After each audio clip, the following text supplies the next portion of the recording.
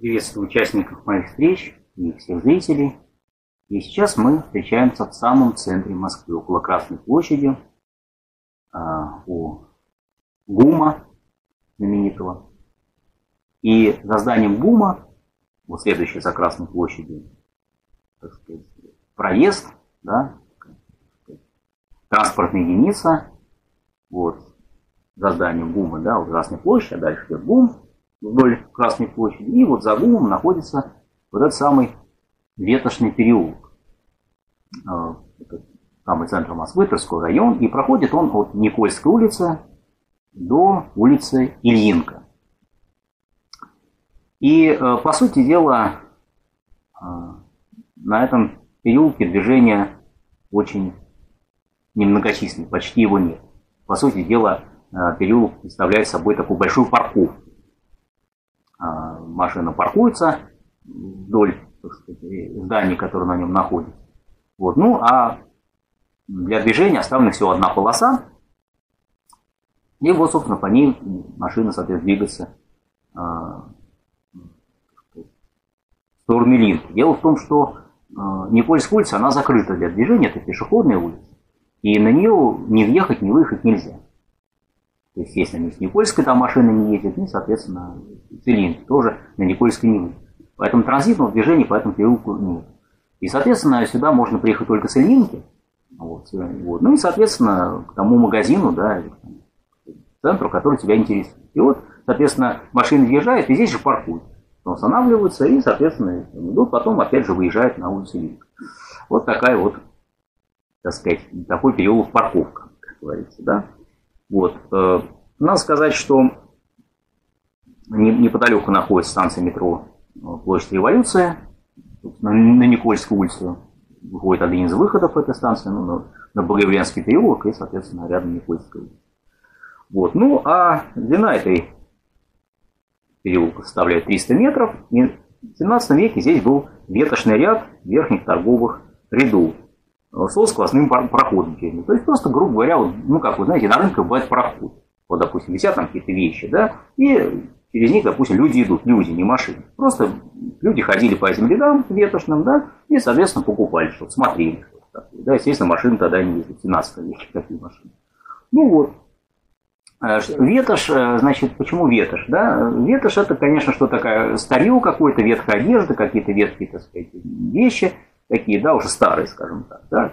Вот, но, а, а, так сказать, это вот одно толкование. Но есть такое другое толкование, оно скорее более правильно, что ветошь это наоборот как раз никакое не старье, а что как раз э, наоборот это такие, можно сказать, э, очень дорогие изделия, вот, ткани такие, с редкой основой, такой, дорогой основой, вот, сделанные по старому способу, старинным там лекалом, да, что-то такое старинное.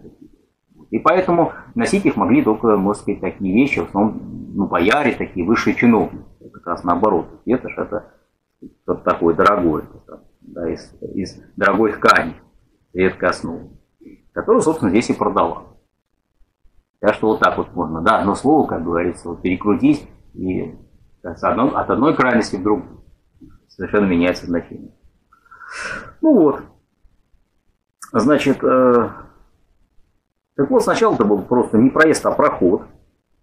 Вот, и, э, соответственно, в 1888 году, то есть уже в конце 19 века, э, вместо, так сказать, прохода сделали, в общем, проезд.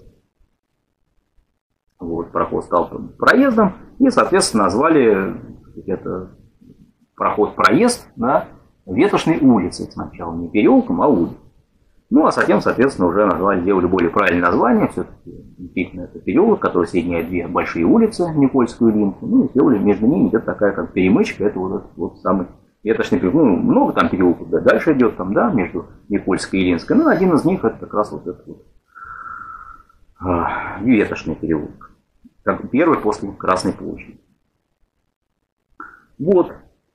Значит, э, в 17 веке некоторое время это называлось переулок Певческой улицы, потому что здесь находилась патриарша Певческая слобода. Ну, а в советское время, в 1957-1992 году, назывался э, этот переулок проездом Сапунова, в честь Евгения Сапунова, был большевик, революционер, которого убили на Красной площади в 1917 году во время э, вооруженного восстания, ну, во время революции 1917 года. Ну и, собственно говоря, так сказать, в общем, он, кроме этого, особо ничем не прославился.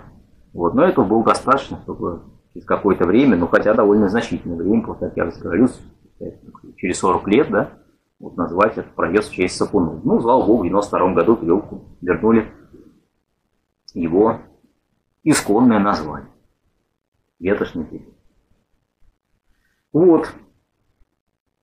Фактически это, да, такая как бы переулок парковка, но фактически это, знаете, переулок представляет собой такой открытый торговый ряд. Такой торговый ряд под открытым небом. Только единственное место сказать, такой барахолки, да, таких вот э, рядов, рыночных рядов, как вот, да, где-нибудь там на колхозном рынке, да, где-нибудь на вещевой ярмарке, да, или на обычной ярмарке. Здесь вместо, так сказать, вот этих вот открытых лотков таких, да, и открытых вылем представлены такие закрытые здания, которые, по сути дела, представляют собой а, одну, многочисленные торговые ряды. Вот, по сути дела, огромный, огромный такой торговый центр большой, состоящий из разных вот, так сказать, отсеков, да, где, в общем, что только не продается.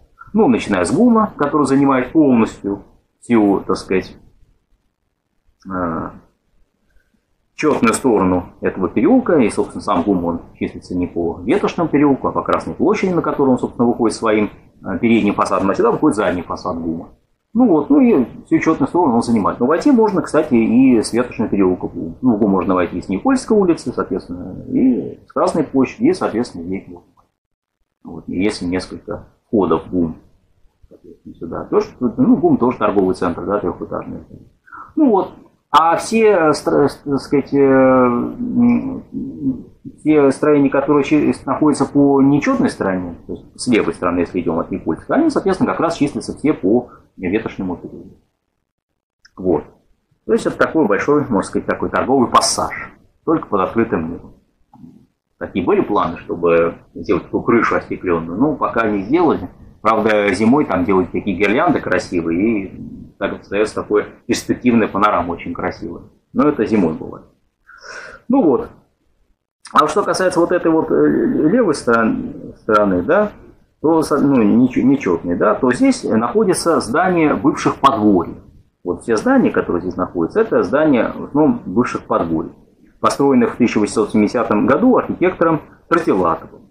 Итак, первое это, это Шевалдинское подворье, Шевалдовское, да, это четырехэтажное здание, Э, по подворье, ну, соответственно, купца Шевалдовшего, да, сейчас там многофункциональный центр, находится оно на углу с Никольской улицей, и недавно, в общем, оно в общем, было реконструировано, заново открыто под номером 5 это здание, затем идет Пантелеевское подворье, э, это два дома под номером 7 и 9, ну, тоже подворье бывшего купца Пателеева. Тут надо сказать, что подворье, оно имеет, так сказать, слово это двоякое значение, двоякий смысл. То есть, с одной стороны, это представительство какой-то, допустим, организации, ну, прежде всего, имеется в виду церковных организаций, какого-то монастыря, там, какой-то церкви, допустим, иностранной, или там, ну, может быть, какого-то, какой-то метрополии, еще что-то.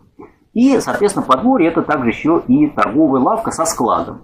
Э, еще в древности это было, да, вот до революции 17 года, это были торговые лавки, но, но обычно они со склада, со складами. Не просто там торговая лавка, а рядом еще э, примыкал и склад. И вот это, так сказать, такое как бы сотрудничество, да, торговли и, соответственно, помещение для хранения товаров, которые потом продавались, собственно, в этих лавках, оно называлось подворье. Поэтому многие купцы, они имели в Москве отдельные подворья. Некоторые сдавали, купцы сдавали свои подворья потом, ну, в аренду, как сейчас говорят, тогда говорили, наем, там, да, соответственно, ну, иностранным каким-то там тоже купцам или каким-то гражданам, которые приезжали на какое-то время в Москву торговать. Ну вот. И вот Пантелеевское подворье, ну, приезжал купцу Пантелееву. Ну, говорит, состоит из двух зданий, одно трехэтажное, другое четырехэтажное. Ну, сейчас это торговый центр Никольский пассаж называется. Ну, рядом Никольская улица, соответственно, находится. Ну, и опять же, это тоже такой торговый центр.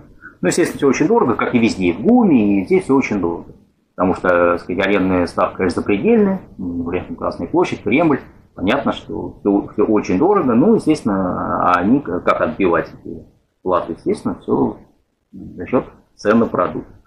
Вот, дальше находится Казанское подворье, да, это под номером 11 здание, следующее. Тоже такое четырехэтажное. Вот здесь была резиденция Казанского митрополита. Вот, где он сам пребывал во время приезда в Москву. Ну и, соответственно, находилась его свита, его окружение, которое его обслуживал. Ну и, в принципе, тут, может, и проживали какие-то представители тоже из Казани, когда в Москву приезжали при Казанском подворье. Советское время тут были жилые квартиры, а также и всякие государственные учреждения. Ну, а, соответственно, сейчас там всякие офисные, ну и прежде всего торговые, конечно, опять же, помещения.